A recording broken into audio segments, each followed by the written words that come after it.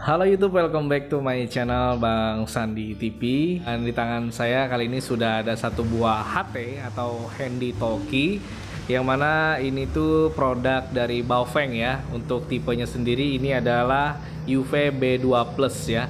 Jadi seperti ini tampilannya guys. Nah, ini seperti ini ya. UV B2 Plus dari Baofeng. Seperti ini ya. Oke.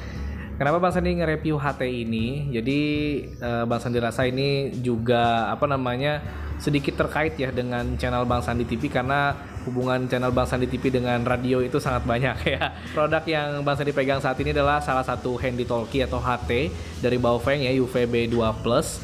Uh, ini sudah dual band ya teman-teman. Jadi dia dual band maksudnya uh, dia itu frekuensinya ada di VHF dan juga ada di UHF ya. Untuk di VHF sendiri dia 136 sampai dengan 174 MHz ya teman-teman. Kalau untuk di ultra high frekuensi atau UHF dia sudah di 400 sampai dengan 520 MHz.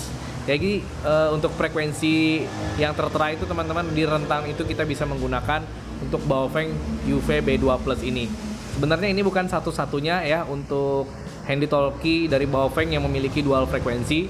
Ada seperti UVB uh, eh, bukan UV82 sebelumnya Mas Andi punya itu ya. Kemarin itu ceritanya ditukar tambah sama ini. Eh bukan tukar tambah sih. Tukar gitu aja ya. Mas Andi naksir sama ini karena uh, baterainya ini lebih besar, lebih gede ketimbang dengan uh, UV82 ya. Kalau UV82 itu kalau nggak salah cuma 2800 mAh kalau untuk uh, UV B2 Plus dari Baofeng ini dia baterainya itu 8 uh, bukan 8 480 4800 ya. Bentar. Untuk lebih meyakinkan kita bisa cek langsung baterainya di belakang sini. Nah, jadi bentar ya, difokusin dulu. Nah, bisa kelihatan nggak tuh berapa mAh? Tuh. Ya, jadi ini 4800 mAh teman-teman kalau menurut label yang melekat di belakang, label yang melekat di belakang ini teman-teman itu dia 8 watt ya. Tapi sebenarnya kalau misalkan dites menggunakan alat itu sebenarnya nggak sampai dengan 8 watt. Jadi kekuatannya itu mungkin sekitar ya di 5 wattan ya itu maksimal sudah ya teman-teman. Jadi ini bisa dipakai untuk berkomunikasi ataupun ngebrik ya, ngebrik kecil-kecilan. Jadi ini antenanya juga bisa kita ganti dengan menggunakan antena vertikal gitu ya. kalau ini antennya kalau orang sini bilang ya anten buntut aja ya atau antena yang kecil pendek. Kalau antenanya ini sendiri pun sudah bangsa diganti. Ini bukan antena originalnya lagi. Antena originalnya saya lupa naruhnya di mana. Kalau ini saya beli ya, saya beli secara online. Ini juga uh, dual band ya. Ini sebenarnya bisa diganti dengan yang lebih panjang lagi karena dia bisa dilepas ya. Nah seperti ini antenanya bisa dilepas. Yang lebih panjang lagi itu kalau nggak salah itu hampir satu meteran ya. Satu meteran. Uh, saya lu juga lupa naruhnya di mana tapi saya lebih enak uh, menggunakan radio yang apa antenanya pendek seperti ini.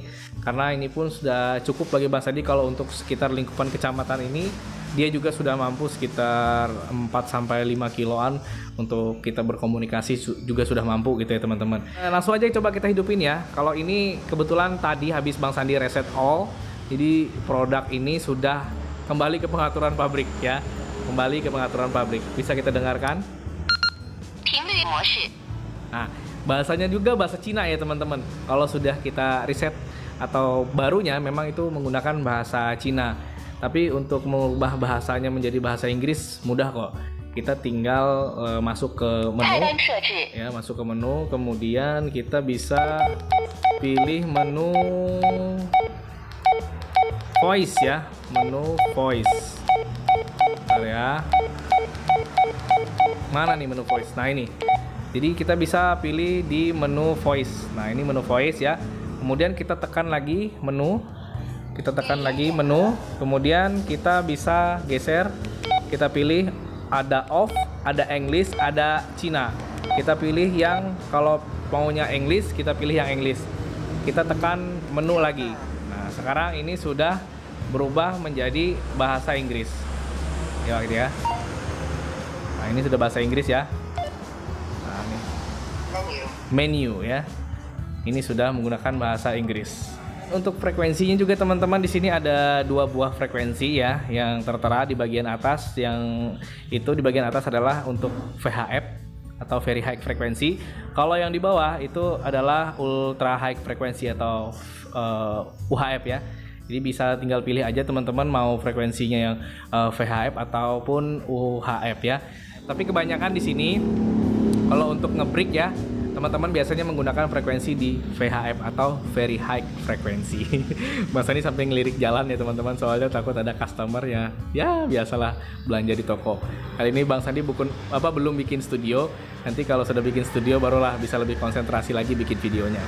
Oke lanjut teman-teman ya di sini juga tentunya sebuah uh, handy talkie yang sudah ada layar seperti ini biasanya juga uh, sudah tertera juga apa namanya eh, tombol-tombol uh, yang banyak seperti ini seperti handphone jadul ya. Tapi yang paling penting itu di sebelah sini ya.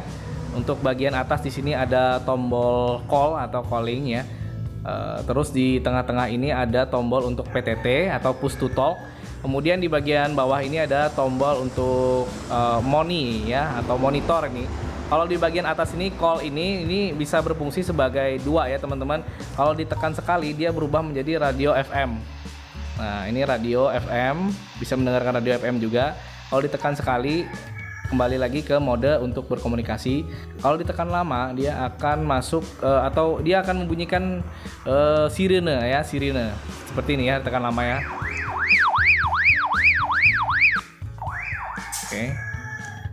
Dan ketika kita menekan sirine itu teman-teman, maka yang e, terikat dengan frekuensi yang sama akan mendengarkan juga e, apa bunyi sirine itu teman-teman ya. Nah, gitu ya. Kalau untuk berganti ke frekuensi e, eh, VHF kita tekan tekan tombol A dan B ini ya. A atau B yang warna biru ini. Nah, itu garisnya pindah ya ke bawah. Ya. Tapi kita juga bisa standby di dua-duanya sekaligus ya di UHF bisa di VHF bisa dengan e, cara on-kan yang namanya menu TDR di dalam ya. Sebenarnya banyak banget ini menu di dalamnya tapi mungkin di lain waktu di video berikutnya Mas bisa jelasin ya untuk e, fungsi-fungsinya gitu ya untuk settingan-settingan.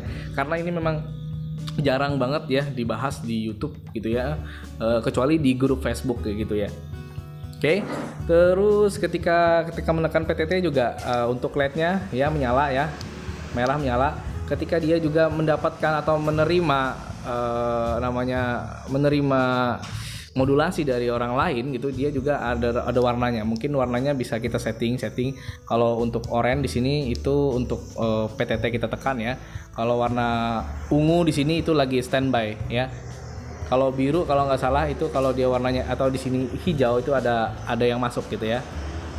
Susah sih ngejelasinnya secara apa ya secara mungkin secara bahasanya gitu ya. Mas Andi hanya nge-review sekedar nge-review secara garis besarnya aja. Bahwa uh, sebuah HT Baofeng dengan tipe UVB 2 Plus itu uh, dia sudah punya dual band gitu dan fungsinya apa-apa aja gitu dan tombol-tombolnya kayak gimana aja gitu Sebenarnya Mas ini harus praktekkan dengan menggunakan dua buah uh, handy talkie ya. Cuman karena yang lainnya lagi belum dicas ya, habis baterainya jadi Mas Andi nggak bisa praktekkan ya. Oke. Sini juga kita bisa nyimpan channel, channel-channel maksudnya misalkan frekuensi yang sudah rame, uh, frekuensi yang sering kita di apa komunikasi di situ kita bisa simpan supaya untuk mempermudah ya. Jadi dia bisa di mode frekuensi ataupun mode channel. Kalau misalkan mode frekuensi ketika kita menekan apa namanya menekan up dan uh, up atau down ini dia larinya langsung ke channel. Tapi kalau kita modenya mode channel ya dengan menekan tombol yang oranye ini, nah frekuensi mode ya maksudnya, maka yang akan bergerak adalah frekuensinya.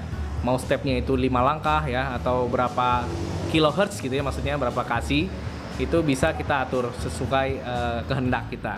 Pokoknya banyak banget ya menu di dalam sini dan ini sangat berfungsi sekali terutama bagi saya yang uh, nimbrung di dunia apa namanya uh, pegiat wifi ataupun RT ini penting banget ya teman-teman ketika membuat atau membangun sebuah tower, membangun sebuah pipa monopol bagi pemanjat mungkin kita kasih satu HT ini supaya kita di bawah bisa berkomunikasi sama si pemanjat gitu ya misalkan itu kurang tinggi kurang tinggi nah jadi enak banget ya teman-teman untuk dalam paket pembeliannya juga ini Uh, kalau misalkan teman-teman berminat mau beli itu pastinya dapat HT-nya ya, kemudian antenanya, kemudian uh, dapat earphone-nya juga ya. Jadi ini sebenarnya ada earphone-nya, earphone-nya juga ada PTT-nya ya.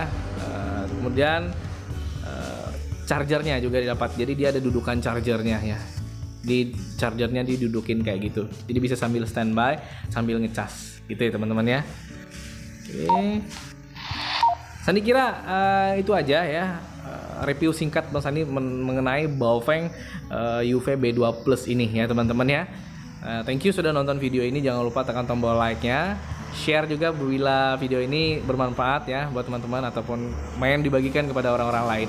Jangan lupa tekan tombol subscribe-nya karena subscribe itu gratis. Bang Sandi pamit dulu. Wassalamualaikum warahmatullahi wabarakatuh. Dadah.